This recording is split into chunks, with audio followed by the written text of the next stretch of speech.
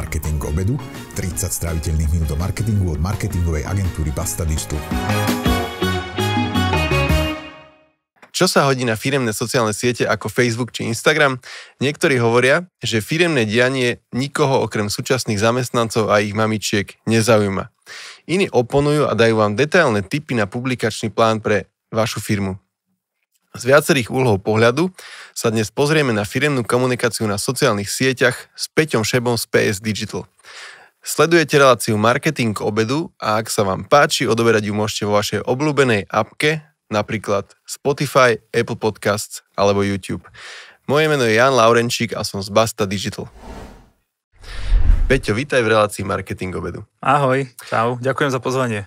Som rád, že si prišiel a ja mám pri tejto dnešnej téme, čo je vlastne uh, obsah na uh, firemných sociálnych sieťach, jednu takú vec, čo sa vždy zamýšľam, keď vidím nejaký príspevok. Uh, povedzme, že nejakého psíka v kancli alebo firemné raňajky a ja si poviem, že why should I care? Mm-hmm. Čo je teda tvoj pohľad na to? Akože, čo, prečo prečo firmy dávajú rôzne typy obsahu na sociálne siete, hej? Nie, a, že či, aj, či, aj sa, či, sa, či sa takýto spôsob môjho zamýšľania nad tým, či je legitimný, mm-hmm. alebo mám sa na to poznieť a povedať si však psíky, OK. Výborne, ko- koľko máme na to času? tak to je len prvá téma, takže... Ale mne by to stačilo aj na celý rozhovor. Vieš čo, uh, tam sa treba, a my to berieme tak, že treba sa vždy pozrieť na to, že pre koho to vyrábaš, hej? Že kto je potenciálne uh, divákom alebo teda followerom tej sociálnej siete a čo mu chceme povedať. No a teraz, keď sa bavíme, napríklad asi narážaš aj na nás, však my tiež máme Instagram plný psíkov a raňajok, takže predpokladám, že aj tam smeruje tá otázka tak si hovoríme, že OK, že náš Instagram je primárne smerovaný, aby sme ukázali, ako fungujeme dovnútra ako agentúra. A robíme to nie pre cieľovku, že milí klienti, tu, na, tu si nás najmite, sme super digitálna marketingová agentúra, lebo máme psíky a robíme raňajky. Nie, ukazujeme to potenciálnym zamestnancom, to znamená študentom a young adults a ľuďom, ktorí proste rozmýšľajú, že by robili v marketingu a spomedzi tých, ja neviem, vieš koľko na Slovensku digitálnych agentúr plus minus?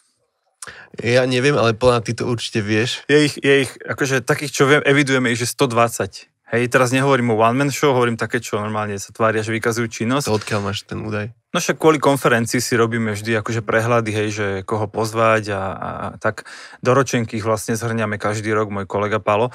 Čiže, vieš, a teraz keď si ten mladý človek povie, že dobre, tak marketing sa ma baví, alebo digitálny marketing ma baví, no tak stále na ňo vykrikuje, ja neviem, 20 významných adma agentúr a ďalšia stovka, nechcem povedať nevýznamných, ale ďalších agentúr, ktoré, ktoré by ho mohli akoby zaujímať ako potenciálny zamestnávateľ.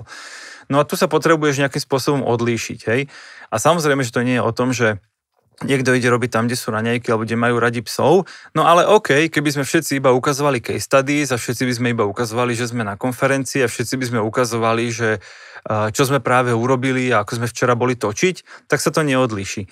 A ver alebo never, takéto akože soft, soft marketingové neviem, ak to ani nazvem, content, veľmi funguje, že k nám naozaj polovica ľudí príde, že jej, vy ste tá agentúra, čo, v ktorej je veľa psov a ja si môžem občas doniesť psíka.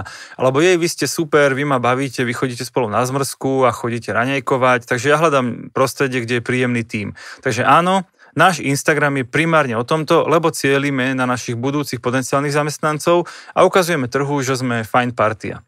Facebook napríklad je oveľa akoby... Počkaj, počkaj, ale no. to znamená, že vy ste sa akože rozhodli, že Instagram e, obetujete tomuto e, Cieľ, to, tejto cieľovej skupine, ktorá je mimochodom v našej branži extrémne dôležitá, lebo ty ako majiteľ agentúry a ja ako majiteľ agentúry vieme, aký extrémny pain je nájsť šikovného človeka. Takže jednoduchšie, keď sa ti tí ľudia hlásia a môžeš si vyberať a my máme strašne veľa stážistov a tak, čiže robíme rôzne kroky preto, aby sme v nejakom momente nedošli do momentu, že musím vycapiť inzerát a modliť sa, že mi niekto odpíše a vypýta si iba o 300 eur viac, ako ja som mu chcel dať. Čiže toto je dlhodobá stratégia, že máme stážistov a že robíme social media, hlavne teda Instagram, spôsobom, aby nám ľudia povedali, ja sa, napríklad na pohovore ľudí pýtam, že čo o nás vieš a všetko, čo o nás vie, vie z Instagramu. Hej, nevie, koľko mám pájov a klincov a niečo. Vy tam máte tých psíkov, vy vyzeráte byť super party a vy chodíte na zmrzku. OK, mne to stačí, že kvôli tomu napísal nám a nenapísal do troch vedľajších. No, prvé ponaučenie je, že vlastne, aspoň teda pre mňa z toho, čo hovoríš, že je dobré si teda ten kanál aj možno, že aj vybrať, ktorý je vhodný na e, ten cieľ. V tomto prípade Presne ten HR marketing alebo nejaký employer branding zjavne robíte aj Že je to, je to primárny cieľ Instagramu. Hej? Že na, na Facebooku máme oveľa viacej case studies, oveľa viacej nejakých knowledge vecí, že čo sa deje v digitáli, aby sme tomu akoby masovejšiemu, stále odbornému, ale tomu masovejšiemu trhu ukázali, že rozumieme tomu a že sledujeme trendy. No ale nebudeme na Instagrame hovoriť, že tu nejaká rozšírená realita má e, nejakú novú funkcionalitu, ale na Facebooku to poviem, lebo nás sledujú na Facebooku práve preto, aby sme prinašali aj takéto novinky. Takže áno, je to prispôsobené cieľovej skupine, ale má to jednu brutálnu výhybku, ktorú sme si v živote neuvedomili, až kým sa to nestalo. Stalo sa to už pred, ja neviem, 4 alebo 5 rokmi, čiže dosť dávno, keď sme vyhrali jeden tender veľký. Hej, veľký, naozaj veľký na úrovni viac ako 100 tisíc eur. Veľký tender. A už keď bolo po všetkom, už sme vyhrali, presvedčili sme všetkých, tak sme sa rozprávali s tou babou na marketingu, že prečo nás vôbec pozvali do toho tendra. Hej, a vyhrali sme nad dvomi Ačkovými agentúrami, veľmi som bol vtedy na to hrdý. A ona hovorí, vieš čo, ja vás sledujem na, na Instagrame a vy vyzeráte byť takí fajn ľudia. A ja som si povedala, s týmito ľuďmi by som chcela nejaký projekt urobiť. Čiže presne sa stala aj tá sekundárna, akoby sekundárna vec, že áno, aj tí ľudia na tom marketingu majú dnes 25, 30, 35 rokov, hlavne tí, čo riešia digitál.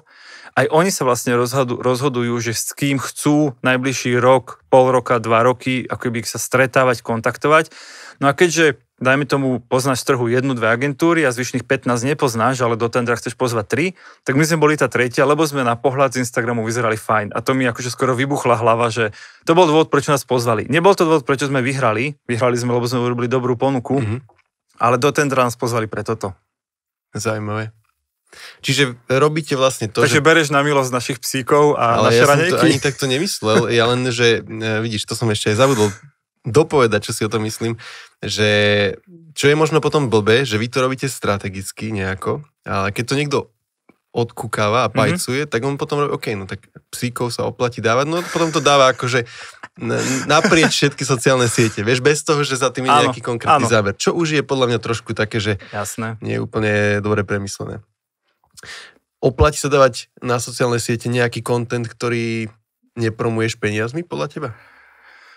Toto, našťastie to riešime s klientami stále menej, ale aj dnes sme mali rozhovor s klientom, ktorý vyrába obsah, točí videá, normálne, že, že, že dobrý, poctivý obsah, ako nič výnimočné, ale dobrý, poctivý obsah, tak sme si pozreli jeho čísla a ten príspevok videlo 1200 ľudí. A ja hovorím, viete, koľko energie vás stálo to natočiť, na- nastrihať, e, to video dať do, do, do nejakej formy, hej, proste, že strašne veľa energie, minimálne energie, vy to necháte na pospas organike. Odpoveď, skrátka odpoveď je, že nie, hej, ale tá, tá skutočná je, že to je proste, ten príklad je, ako keby si niekomu zaplatil proste 30 tisíc eur za natočenie TV spotu, len to boli tvoje posledné peniaze, takže si ho púšťate v zasadačke každý týždeň, tešíte sa, aký máte nádherný spot. No keď mám 30 tisíc eur, no tak za 10 musím natočiť spot a 20 musím dať televíziám, aby ho odvysielali. Keď mám obsah na sociálnych sieťach hej, a platím minimálne toho človeka, ktorý ho vyrába, tak si predsa musím nechať aspoň pár stovák mesačne, aby ten obsah niekto videl. Takže krátka odpovede nie, ale je to veľmi rozhorčené nie. Nie, neoplatí sa robiť obsah na sociálne siete bez toho, aby si ho ukazoval ľuďom a spoliehať sa, že Facebook, Instagram, LinkedIn, TikTok, YouTube, že to niekomu len tak ukážu, lebo ty si majster virálu a samo od seba to zrazu akože začne fungovať, to je čistá naivita. No počkaj, počkaj, ale veď predpokladám, že vy keď tam dáte príspevok, že raňajkujete spolu, tak to nepromujete. Promujeme, ale my máme systém, že promujeme všetko. Všetko. Hej, že my promujeme každý jeden príspevok, máme nejaký mesačný rozpočet, žiadne horibilné sumy, hovorím z to nejaké drobné stovky a ten rozpočet sa e, rozkladá medzi všetky príspevky a, a každý príspevok nám ukazuje, akoby, že koľko za tie peniaze vytlačí. Čiže áno, nejaká blbosť za, za tých pár desiatok eur vytlačí, ja neviem, 5000 ľudí zasiahnutých a hneď za ním príspevok za rovnaké peniaze vytlačí 15 tisíc. A my sme s tým OK, lebo my nevieme dopredu, ktorý z tých príspevkov bude úspešný a prečo, ale vieme, že keď už sme ho vyrobili, tak ho chceme aj niekomu ukázať. Nie proste 37 ľuďom organicky. Mhm. Dobre. Eh, Keď eh, sa bavíme o tých sociálnych sieťach, a teda sú rôzne, tak podľa teba je lepšie byť taký ten spontánny človek, že chodím s mobilom v úvozovkách po kancelárii a tam niečo zaujímavé zbadám, odfotím, dám, alebo mať to úplne premyslené ako publikačný plán, detailne? Postavil si to tak čierno-bielo, ale keby som si mal z týchto dvoch vecí vybrať, tak, tak poviem, že tá dvojka, hej, že, že treba mať premyslené, čo idem dať a kam to idem dať. Ale našťastie to nie je čierno-biele, zase to závisí od siete, na ktorú ideš a od toho, ku komu hovoríš. Hej, že Facebook musí byť dopredu premyslený, dobre napísaný, dobre nafotený, nafilmovaný, musí to pôsobiť profil, lebo to ukazuješ naozaj tvojim potenciálnym klientom. Instagram, no môžeš tam napísať skoro čo chceš, ale tá fotka musí byť proste tak vymakaná, že sa pri nej ten človek zastaví, že wow, toto je pekné. Ale potom sú tu stories, hej. Stories sú presne o tom. Chodím po ofise, čo zaujímavé sa dialo, cvak, cvak, cvak, tu dám anketku, tu dám gifko, tu dám nejaký proste hlasovačku. Snažím sa tých ľudí zapojiť do tej debaty s, s mojou agentúrou. A áno, tam nejde o to, aby to bolo dokonale pekné formálne, ale aby, aby ten obsah, tých 24 hodín, ktorých žije, aby fungoval. No a potom je tu ešte jedna veľká téma, a ja to tak pracovne zatiaľ volám Content 3.0, ale to som si ja vymyslel, ešte to nič neznamená, že ja keď som prišiel do marketingu, alebo zač- internet začal tým, že bol nejaký obsah, že boli noviny a proste nejaké, nejaké akože články a webové stránky a ľudia to čítali. Keď som ja prišiel do marketingu, to bol v 2006, tak vtedy bol taký veľký hype, že Web 2.0 sa to volalo. Pamätáš si to? Áno, áno. A to bolo, že zrazu môže hocikto napísať blog a na sociálnych sieťach zrazu sme si všetci rovní, lebo ty píšeš, aj komentuješ a ty píšeš a tebe komentujú. Hej, že zrazu všetko bolo rovnocenné. No a teraz s príchodom TikToku a Reelsov sme vo fáze, opakujem, ja to len tak volám pracovne Content 3.0, kedy zrazu prestáva byť dôležité, že kto je autorom toho obsahu, nie z pohľadu autorských práv, ale z pohľadu, že odkiaľ to prišlo. To znamená, značka urobí super reklamu, zrazu sú z toho dva týždne memečka po celom internete. Nejaký chalanko, hej, Kabil im začne robiť toto, a zrazu z toho všetky značky pomaly z toho urobia trend a použijú to vo svojej komunikácii. Čiže už to nie je len o tom, všetci sme si rovní, že si môžeme navzájom písať, ale je to o tom, že ktokoľvek môže vyvolať nejaký trend na internete a to práve priniesol ten TikTok a to priniesli tí Reelska, lebo zrazu máme všetci v ruke mobil, zrazu je hrozne jednoduché video nielen natočiť, ale ho aj dobre postrihať a dať mu dobrú hudbu, Hej? A presne, niekto, kto bol včera, ten Kabilejm je brutálna pre mňa inšpirácia, nezamestnaný pristahovalec z Afriky do Talianska, hej, on stratil robotu v korone a preto začal robiť teda TikTok, hej, a dnes je to najúspešnejší TikToker na svete, tak on je dnes absolútny fenomén, pred dvomi rokmi bol nezamestnaný, tak takisto, dnes keď urobí super reklamu Nike, Adidas, hocikdo, no tak sa zase na nej priživuje polka, polka sveta a robia si z toho srandu, memečka, a takto, takto ten content proste je úplne nový. Čiže odpoveď je, že áno, niekedy sa to deje na mobil, niekedy sa to deje premyslenie, niekedy ty ako značka musíš sledovať, čo letí medzi ľuďmi a ty prispôsobíš svoju aktuálnu komunikáciu, nie stratégiu, ale v tom momente si povieš, teraz všetci sa zvláznili do, ja neviem čo, strihania, strihania káblov od sluchadiel a celé sa to volá neviem čo, vymýšľam si to teraz, hej, akože set your ears free, No tak ty ako značka hľadaš, viem sa na tom priživiť, je to relevantné pre mňa, alebo je to úplne mimo môjho podnikania? Chápem. Uh, dobre, čiže to, content 3.0, to si ty vymyslel, hej? Takže Ale budeme, ja, ja to tak len to... pracovne volám. Hej, hej, hej. Uh, budeme o tom ešte počuť, podľa mňa, čo si to určite. sformuloval. Ja som toho kabilenči, čo si povedal, nepoznám, vôbec neviem, o čo ide, ale teraz znie to zaujímavé, takže si to doštudujem. Odporúčam. Dobre.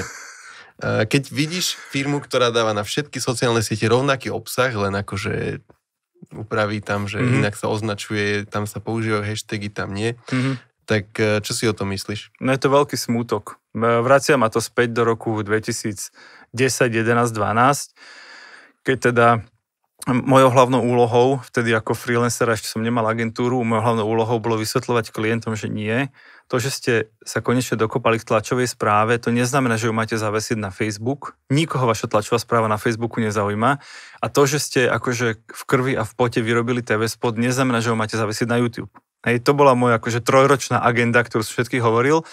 A potom presne prišlo, že no dobre, ale teraz sa musíme starať aj o Facebook, aj o Instagram, ešte sú k tomu stories, ešte šéf chce, aby sme robili LinkedIn a teraz ty mi tu hovoríš o TikToku, že kedy máme pracovať, hej? A vtedy niekomu z nich tak napadne, že no tak budeme ten obsah recyklovať a má to veľmi prísne pravidla. Čiže napríklad ja hovorím, že veci, ktoré sú dosť dobré na Instagram, môžeš dať v pohode na Facebook. Hej, lebo sú, pre Instagram sú už tak dobré minimálne vizuálne spracované, že na tom Facebooku, keď to dobre popíšeš, super. Z Facebooku na Instagram nepatrí nič. Nič, čo dáš na Facebook, nesmie ísť na Instagram, lebo tí ľudia ťa tam akože oplujú, že na čo, si, na čo mi to špiníš priestor Facebookovými nezmyslami. Naopak, keď robím storky na Instagram, už keď ich mám vyrobené, no samozrejme, že ich zavesím aj na Facebook. Áno, storky na Facebooku pozerá, ja neviem, 10% z tých ľudí, čo na Instagrame, no ale je to 10% zadarmo prírastok, už keď to mám vyrobené, hej.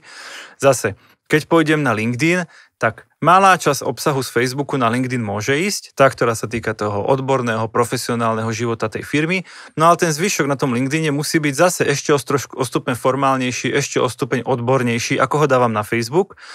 No a keď pôjdem do úplného extrému s TikTokom, tak keď už na TikTok vyrobím to videjko, tak samozrejme, že keď už mám vyrobené, tak ho zároveň zavesím do Reelsov na Facebooku a na Instagrame, lebo tam sa tiež čakajú krátke videjka. Čiže Odpoveď je, že áno, buďme smart, recyklujme smart, ale v žiadnom prípade, že keď už konečne som sa dokopal k príspevku na Facebooku, tak ním teraz zaplavím všetky siete, lebo na tých iných sieťach budem na smiech.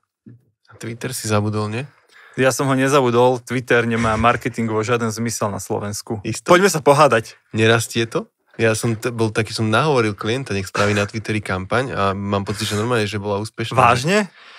Tak a... o, tom, o tom mi povedz viac, lebo to si prvý, kto mi také niečo hovorí. Twitter teda dlhodobo na Slovensku nemá čísla, v zmysle nie je tam objem, hej, nie je tam dosť ľudí, je tam rádovo 100 tisíc, možno 200 tisíc ľudí. Áno, aj tí tam aktívne príliš nechodia. A je tam nejaká skupinka, neviem, či, či novinárov, či hudobníkov, či niekoho, ktorí tam akože im to vyhovuje, že tam sú a že sú tam v podstate v odzokách pen sami.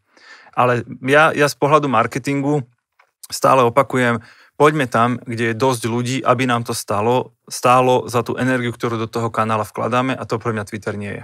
E, no, to si ja práve myslím, že tam tá cieľka je taká špecifická. Toto konkrétne bola e, oblasť IT a mm-hmm. to mhm. podľa mňa na Twitteri není úplne nezmyselné. No a bola to HR kampaň mm-hmm. a mhm. výsledky z toho boli reálne. Čiže ja tam tú komunitu vidím a ja som to kvôli tomu navrhol, že som mal pocit, že keď prišla vojna, tak akože nechcem teraz hovoriť, že sme to nejako využili, ale mne sa zdá, že to je vtedy dosť značne stúpol počet ľudí, ktorí chodili na Twitter, keďže to bol jeden z tých Aj zaujímavých kanálov, zdrojov, jasné. hej, že mm. informácií, takže som to, akože takto mi to prišlo akože krátkodobo využiteľné, v iných prípadoch súhlasím s tebou. A hlavne to bola naozaj veľmi špecifická cieľovka. Čiže Twitter, ty by si z firemnej komunikácie úplne vylúčila, aj keby niekto, povedzme, že uh, jeho cieľovka je na zahraničných troch? Kde ten Twitter... To nie, to nie. Ja hovorím naozaj o Slovensku, dokonca už v Čechách je Twitter úplne iná, úplne iná, akože úplne iný príbeh. A, a to sa ma tiež veľa klientov pýta, že no a kedy ten Twitter akože na Slovensku začne fungovať? Ja poviem nikdy, že už, už to nestihol, už nezačne. A prečo teda hlavne česko, českí klienti to riešia? Ale u nás je to fantastická sociálna sieť. A ja hovorím áno, lebo u vás sa to rozbehlo. A moje, napríklad moja osobná teória je, že v Čechách sa Twitter rozbehol vďaka jednému človeku, Andrej Babiš. On začal Twitter ešte predtým, ako vstúpil do politiky, používať aktívne. Jeho najlegendárnejší tweet ever je zajtra si asi niečo kúpim a kúpil jeden z najväčších mediálnych domov v Čechách. Hej, normálny človek by si kúpil tenisky alebo by si kúpil proste psa, hej, on si kúpil mediálny dom.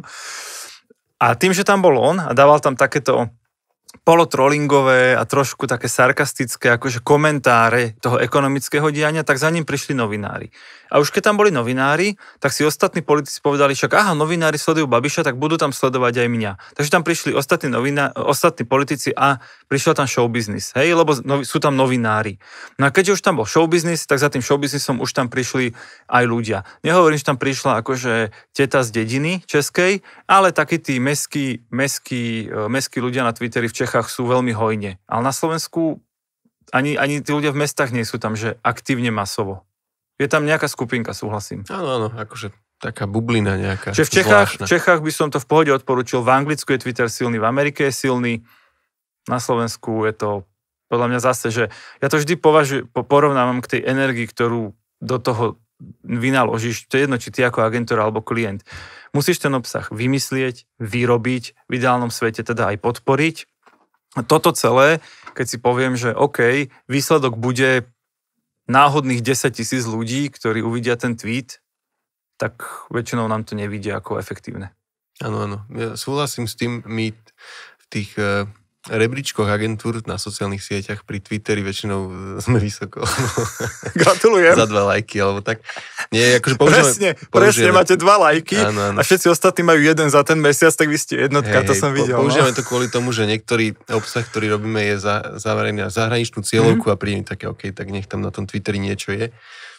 A keď si hovoril, že mm, o tom, že na českom trhu funguje, tak mm-hmm. že či na Slovenskom by niekedy mal alebo nemal fungovať, tak možno, že pre naše dobro by ani nemal, že by sme nemuseli ďalšiu sieť obsluhovať. Ja už, ja už sa s ním rozlúčil a všetky hodne odhováram, tak dúfam, že preto robím dosť. No a dobre, a teraz akože TikTok si síce spomenul, ale že dnes, keď firma, nebavme sa o agentúrach, ale mm-hmm. Lidl napríklad, alebo nejaká uh, firma menšieho typu ešte ako Lidl mm-hmm. a TikTok, odporúčil by, so, by si to alebo nie?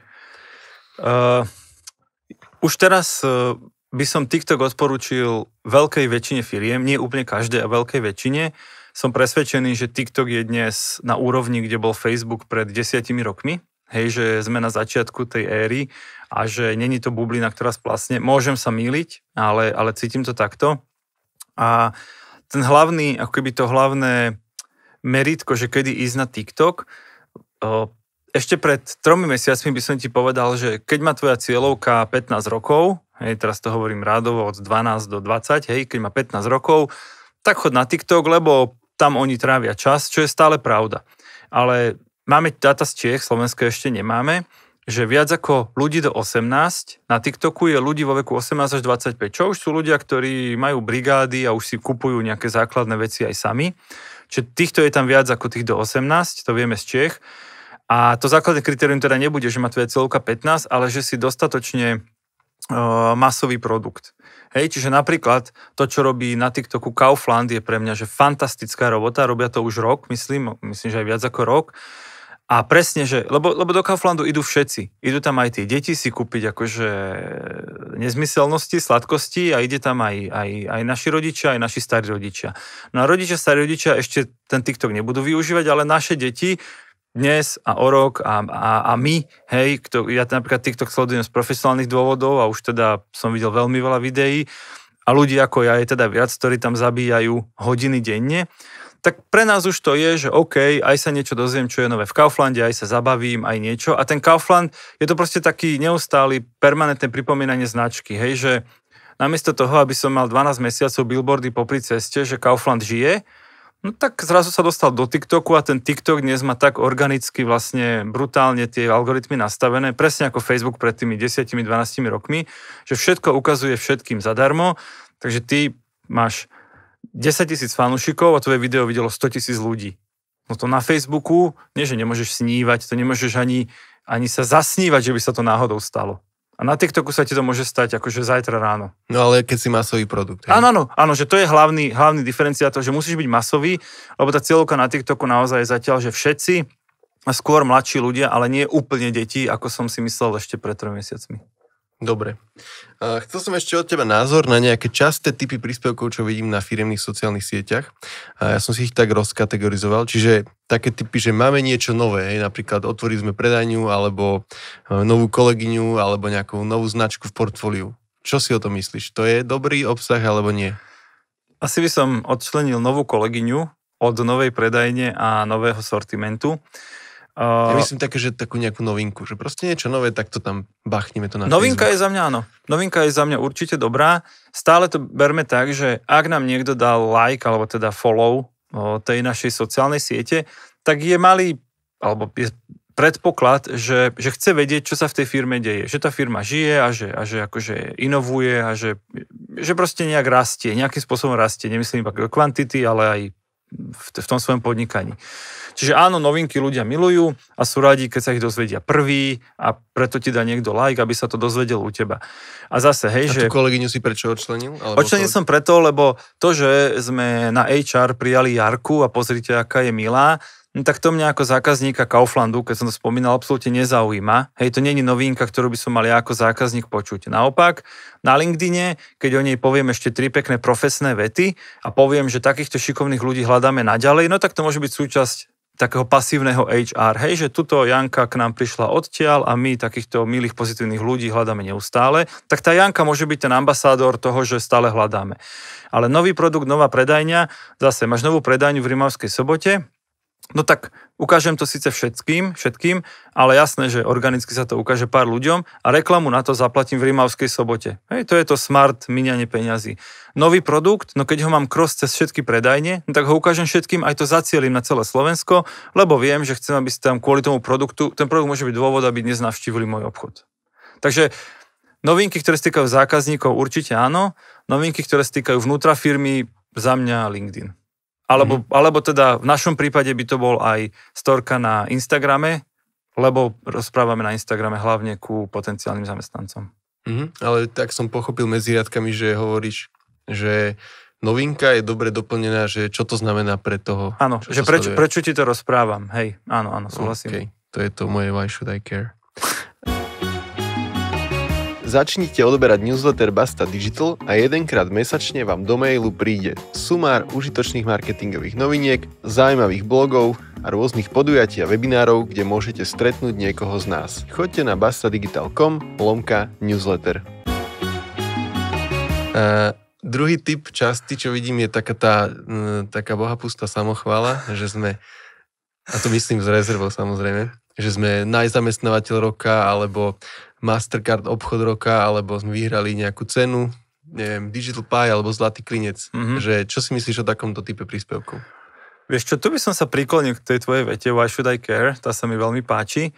A tiež to má podľa mňa iba dve polohy. Tá prvá je, že keď sme najzamestnávateľ, tak je to podľa mňa fantastická správa pre trh, pretože niektorí ľudia u teba nakupujú, budem to stiahovať na obchod, obchodný reťazec, lebo je to ľahké vysvetliť, že niektorí u teba nakupujú, lebo máš dobré ceny a niekto u teba nakupuje, lebo si váži, že vysádzaš stromčeky a dobre sa staráš o zamestnancov. Takže najzamestnávateľ môže byť veľmi drobný, ale motivátor, že pozri, tento, táto firma nezdiera všetkých, nerobia tam za 500 eur mesačne. Ale hlavne ukazuješ tým, všetkým, ktorí rozmýšľajú, že kokos tak skončím za pokladňou, No tak keď za pokladňou, tak u tohto, lebo ten vyhral najzamestnávateľa. A zase to nie je informácia primárne iba na LinkedIn, lebo na LinkedIn ťa bude sledovať nejaký middle management a top management, ale tvoja potenciálna predavačka na LinkedIn ani nie, ani nebude. Takže je to kľudne informácia na Facebook a why should I care, ak uvažujete o kariére, tak my sme spomedzi obchod, obchodníkov napríklad najzamestnávateľ, že mne toto nepríde ako zbytočná informácia, ale áno, keď niekto sa bude e, verejno, ešte aj, aj napríklad top obchodník, ak si hovoril Mastercard obchodník, mi príde, že užitočná, že to je totiž to pre tých ľudí tam vonku, je to nejaký dôkaz, že si dobre vybrali. Hej, že ty nakupuješ, poviem v Lidli, nech nemáme všetko o Kauflande, že nakupuješ v Lidli výborne, pozri, aj odborníci sa zhodli, že sme dobrý obchod. Čiže oni vlastne verifikujú tvoje rozhodnutie, že ty nakupuješ správne. Čiže zase je to informácia pre trh, v pohode, why should I care, potvrdzujem tvoju voľbu, dobre si sa rozhodol ty nakupujúci. Mm-hmm. Ale presne tu sme vyhrali, neviem čo, nejakú cenu za, nechcem nikoho zhodiť, hej, ale za nejakú polo, polo nezmysel, len akože sme sa tam prihlásili, lebo sme boli jediní v kategórii. No ak, to, ak tomu zákazníkovi nič nepovie, hej, že máme ja neviem čo, najviac pasci na myši spomedzi všetkých obchodníkov na svete, tak si poviem, kokos, ja som aj nevedel, že ich tam máte, ešte sa chváli, že ich máte najviac, tak s tým by som sa nechválil externe, no. Uh-huh. A potom taký typ, e, že keď niekto hovorí, aký je e, dobrý a pre, prospešný pre spoločnosť typu, že poslali sme na Ukrajinu peniaze, alebo vysadili sme stromčeky, mm-hmm. alebo sme upratali CSR, les. No, CSR activity. To, vypadlo mi to slovo. Hej, hej, hej. Že, čo si myslíš o tomto type obsahu? No, to je taká rozbuška, tam vidím, už som to videl aj pri tých hej. ukrajinských príspevkoch nejaké hejty. Teraz som videl, ako Bohuš e, z Contentino hejtil, ne, nechcem povedať to slovo hejtil, ale sa mu nepačil, že E, vysadzanie stromčekov nazval greenwashing, to kvôli nejakým monokultúram a neviem čo, a mm-hmm. že nie je toto také už, že môže bytočne vyvolať aj negatívne reakcie? Ja som tu taký 50-50, že, že veľmi sa mi páči, keď firmy sa starajú nielen same o seba, hej, že keď naozaj si zoberú nejakú časť pomoci tej spoločnosti a to naozaj môžeš pomôcť komunite, prírode, môžeš mať dobre vzťahy s dodávateľmi, so zákazníkmi, že tamto CSR má veľmi akože pestré spektrum, ako môže byť prospešný tej spoločnosti. To sa mi veľmi páči. A v tejto časti sa mi páči aj to, že je to napríklad Viabona, ktorá tie spoločnosti akože vyťahuje a ukazuje, že pozrite, títo to robia dobre, lebo nejaká odborná porota posúdi, že to není len tak akože, aby sme si odfajkli v marketingu, ale že naozaj tá aktivita bola dobrá a naozaj niekomu pomohla. Potiaľ to som, že super, že aj by som sa pochválil, že sme vyhrali Viabonu, lebo sme objektívne, a tú objektivitu ti dáva ten niekto tretí, hej, ten tá porota, objektívne sme naozaj pomohli, alebo naozaj sme férovi v niečom. A potom sú tie samohonky, čo si povedal, že tu sme posadili 8 stromčekov, všetci nás chválte. A to je podľa mňa totálne, samozrejme, taký greenwashing, asi by som to nazval rovnako, že, že dobre, veď takto urob, a, a pochval sa dovnútra firmy, že pozri, myslíme na prírodu, ale neotravuj akože s každým prdom, ktorý si tu akože zasadil stromček, alebo spozal, vieš, si firma, ktorá má 100 miliónový obrad a ty pošleš akože tisíc eur niekam a napíšeš o tom 4 tlačové správy a generálny riaditeľ sa tam rozplače na tlačovke. Tak to je samozrejme, že pre mňa na grc. Hej, ale... A také tie hromadné menenie loga na modro-žltú. Vieš čo, ako to, mne sa to páčilo. To že, mne nevadí. To že mne nevadí. som videl, že to má nejaký vplyv na spoločnosť. Áno, ale... že to je prejav nejakej, nejakej solidarity k nejakej téme, však modrožltá bývajú dúhové logá, hej, veľmi často ku, ku Prideom sa robia, robia sa logá na podporu nejakých, keď sú nejaké veľké témy spoločenské, napríklad tie zelené, keď sa má prijať nejaká dohoda a podobne. To mne príde, že, že firma má právo mať názor a toto je podľa mňa najjednoduchší spôsob, namiesto toho, že vydám tlačovú správu, no, tak si zmením profilovku na mesiac a tým vlastne všetkým poviem, že môj názor na tú tému je tento a ty sa rozhodni, či si alebo nie si s ním stotožnený. Môže, niekoho to samozrejme odradí, niekoho to naopak poteší, že super, že tá firma sa vyjadrila. Ja si myslím, že taký ten postoj, že firma má byť neutrálna a má, nemá sa akože zapája do spoločenských a politických vecí a proste jediným cieľom je predávať. Ja si myslím, že to je už trošku prežité.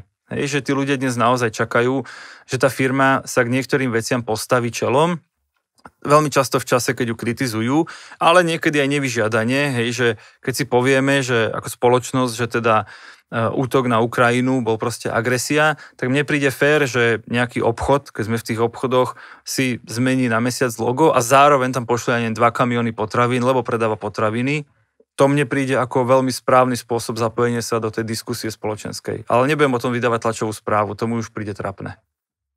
Mm-hmm. No niektoré obchody to robia zaujímavo, že na svojej web stránke v hlavičke komentujú dianie na Ukrajine. Vieš čo, to asi nerobia obchody, to robia asi zamindrakovaní majiteľia, ktorí si pomýlili svoj e-shop proste s, s názorovou platformou na vlastnom blogu. To je Ale... podľa mňa úplne, úplne mimo. To je mimo. Áno, ale ešte som tam odtedy nebol teda. A už tam asi nikdy nepôjdeme, že? Nie. Dobre, a teraz, že všetky tie veci, čo sme sa bavili, tak možno, že som netrafil nejakú takú častú chybu, čo vidíš ty pri firemných sociálnych sieťach. Častú chybu, že jednu si určite trafil a to je tá podpora toho obsahu. Hej, že chrlia obsah, idú sa tu pozabíjať, čo všetko akože vyrobili, natočili, nafotili, napísali ale zabudnú to ukázať ľuďom, to je, že úplne, že to je, že by far zďaleka najčastejšia chyba, najväčší, najväčšia chyba, akú môže firma urobiť, že oni si proste len pred šefom vykážu, pozri, však nám to žije, kokos, no jak to žije. Nikto to nevidí, nemá to žiaden engagement, žiadne prekliky na môj web, jak to žije. Že sme iba vychrli 18 statusov za mesiac. Ale šéf to sleduje a on to vidí. Možno, no presne, vieš. presne. A to je, to, je, že, to je že celé zle, to je určite najväčšia chyba. Potom si veľmi správne trafil to, že dávaš rovnaký obsah na platformy, kde sa vôbec nehodí, súhlasím. A tretia môže byť to, čo si vlastne naznačil, ja to len dopoviem, že, že netrafíš tú cieľovku, hej, že máš pocit, že všetkých na Facebooku zaujíma toto a všetkých na Instagrame toto, ty by si si mal naozaj zvoliť pre koho, a nie že prečo, pre koho tú, tú sociálnu sieť naplňaš a tomu prispôsobiť a naozaj naplánovať obsah. A to, toto, keď sklobíme tieto tri veci, boostuješ, uh, vieš, prečo to robíš a zároveň to máš aspoň trošku premyslené dopredu, že čo tým chcem dosiahnuť. Niečo robím kvôli Everness, niečo robím kvôli preklikom na web, niečo robím kvôli priamo kvôli konverziám, hej, ale marketing nie je len o konverziách, niekedy chceš iba, aby sa o tebe, aby vedeli ľudia, že žiješ. Tak toto, keď dobre namiešaš, tak sa to volá digitálna stratégia alebo social media stratégia a vtedy to robíš dobre. Že to, to, toto, toto stačí, len Málo kto to robí až takto. Áno. Nezdá sa ti, že to v tých firmách často býva tak, že na obsah na sociálnej siete niekoho príjmu, teraz nebudem špecifikovať pohľavie, mm-hmm. či to je muža, žena, niekoho mm-hmm. príjmu, nech tam niečo dáva z toho, čo sa tej, v tej firme deje a že to vlastne akože nie je nejaký marketer alebo marketerka? Áno, ale dialo sa to v minulosti viac. Už teraz, už teraz si absolútne tie firmy uvedomujú, alebo teda tie stredné a veľké si uvedomujú, že to nie je, že niečo tam musíme dať, ale na, najčastejšie, ťa k tomu, najčastejšie ťa k tomu vybudí konkurencia, lebo vidíš, ako to robia, ako sa im darí, ako proste zrazu oni ten tvoj segment ovládli a ty si tu 10 rokov a vtedy ten šéf sa obzrie okolo seba a povie, že my to robíme 10 rokov, oni nás tu za 3 mesiace dali dole. Hej, a vtedy, vtedy príde to, to prebudenie, že či to robíme dobre. Takže áno, dialo sa to. Teraz, teraz si myslím, že už niekedy tí social media ľudia sú možno aj over, akože overqualified, alebo sú, sú bráni vážnejšie ako treba, lebo zase niekto v tej firme trávi hodiny na konkrétnej sociálnej sieti a chce, aby tá jeho firma na tej sieti bola, bola topka, ale možno to nemá zmysel pre zákazníkov, iba pre neho samého. Čiže je toho stále menej, že to niekto len tak nejak robí a hlavne, hovorím, najlepšia motivácia je tvoja konkurencia. Keď vidíš, že to robia, že sa im vďaka tomu, aj vďaka tomu darí, tak vtedy sa ako šéf alebo majiteľ zamyslíš, že dobre, tak asi na tom niečo bude, hoci ja sám na sociálne siete nechodím, čo je veľmi časté. Uh-huh. A keď som teraz rozmýšľal nad tým, že o, o tých roliach ľudí v tej firme a povedal si o social ľuďoch, tak čo je podľa teba lepší spôsob? Uh, mať ľudí vo firme na tvorbu obsahu, to znamená napríklad pri Lidli, kuchyňa Lidla, čiže niekto, kto tam robí recepty, natáča, fotí, vymýšľa a teda publikuje na webe a tak ďalej, a potom to niekto dáva na sociálnu sieť, napríklad na Facebook. Alebo uh, mať ľudí vyslovene na to, že robia obsah pre sociálne siete. Že ako to vlastne býva bežne podľa teba vo firmách? No, uh... Alebo tvoríte vy obsah, že výlučne nejaký obsah len pre sociálne siete, že nikde inde sa ne... Áno. A predpokladám, že ten Instagram asi áno, hej? Áno, áno. Drvivú ale... väčšinu tvoríme výlučne pre sociálne siete, ale, ale pre platené sociálne siete, čo je úplne iná téma. Hej, že my naozaj tvoríme obsah a potom sa na mesačnej báze pozrieme, že ten obsah, čo sme za ten mesiac vyrobili, zasiahol napríklad milión ľudí. A vtedy si povieš, že no tak to stálo za celé to trápenie a to feedbackovanie a proste otáčanie a prepisovanie, no lebo milión ľudí videlo náš obsah, hej. Keby to bolo ako hovoríš, že, že tu niekto vyrába obsah iba pre sociálne siete a vo finále to vidí tisíc ľudí alebo za mesiac 10 tisíc a ty si teda celoslovenský obrovský projekt, nie si nejaká lokálna vec, tak si presne povieš, že to je mrhanie energiou. A tento rozdelenie, to je vlastne akoby druhá časť toho, čo som naznačil s tým kontentom 3.0, že podľa mňa teraz prichádza presne tá doba a zase priniesli ju tie Reelsy a tie TikToky, že, že social media ľudia, to sú ľudia, ktorí primárne sedia za stolom. Vieš, oni musia aj komunikovať s klientom, aj musia vyrábať tie príspevky, aj musia robiť community management. Hej, odpovedať, starať sa, sledovať, sledovať trendy a tak. No a potom je tu taká druhá skupina, volajme ich zatiaľ content creatory, ktorí by mali mať možnosť ísť, vybehnúť, pofotiť si, potočiť si, mali by mať 4 hodiny to postrihať, hej, aj keď iba v mobile, v nejakom kepkate, ale proste, že vyslovene, že, no a tie, to napríklad u nás v agentúre budeme teraz, teraz meniť, že, že OK, social media robia fantasticky svoju robotu, ale oni nemajú 4 hodiny denne, ísť proste ku klientovi si pofotiť a potom sa vrátiť a postrihať si, keď natočili niečo. Že úplne iní ľudia sú. Že podľa mňa sú to iní ľudia, aj keď doteraz na to stačili social media manažéri. Ale s príchodom týchto krátkých videí to jednoducho už nebude stačiť. Ty si dal príklad ten kuchyne Lidla, čo je fantastický projekt, lenže kuchyňu Lidla robia ťažkí profesionáli. Hej, to je, že technika, to je nasvietenie, to je aranžma, to je profesionálny kuchár. To nemá nič so social media človekom. To je profesionálna produkcia, ktorá odovzdá hotové video tomu social media človeku a on sa postará o to, aby bolo zavesené na správnej sieti so správnym popisom a správne boostnuté, aby ho teda niekto vo finále videl. Čiže kuchyňa Lidla robí profesionálny obsah iba pre sociálne siete a je to jeden z najúspešnejších content projektov ever v histórii Slovenska, nie že medzi obchodmi. Tak to nie je iba pre sociálne siete, podľa mňa nie. Že to je a kde aj... to dávajú? V telke to neuvidíš. Tak na webe to je a organicky, keď si hľadaš nejakú praženicu. Tak sa, dostaneš na, tak sa dostaneš na YouTube. Na ich web, podľa mňa. Ale možno aj na OK, YouTube. no Aj OK, na YouTube. OK, ale aj na, aj na ich webe je to predsa iba embed z YouTube. OK. Akože, OK. Tak Že, je- že, pre mňa, z môjho, možno je to len o terminológii, ale z môjho pohľadu je to iba pre sociálne siete, primárne pre YouTube a sekundárne pre Facebook. OK. A z toho, ako to vravíš, z toho uhlu pohľadu dáva zmysel, ja to vnímam aj z toho Áno, organického. áno, SEO sveta, a organika hej, hej. a tak. Áno, máš pravdu, beriem, ale ja som to skôr rozdelil na úrovni v živote sa to nedostane do telky, billboardy z toho nerobia, ani články z toho nedávajú do plus sedmičky. Proste je to iba pre internet, keď to povieme takto. Ešte v letakoch som to videl, ale to nie... Ale videl si jeden print screen. Hej, To by urobili aj bez toho, aby celý ten štáb s tými kamerami tam bol. jasné. Dobre. Peťo, moja posledná otázka na teba je, že čo si ty dáš dnes na, čo si ty dáš dnes na obed? Čo, rozmýšľam o tom od začiatku, odkedy som sem prišiel. Neviem, asi niečo, niečo v okolí, keď mi odporučíš. Dobre. Máš dobrý tip? No, vedľa je pizzeria, ale neviem, či to je dosť pre teba. Môže byť, môže byť. Dobre, ďakujem ti pekne. Veľmi pekne ďakujem za pozvanie a verím, že niečo sme si aj povedali zaujímavé. Určite. Čau. Čau.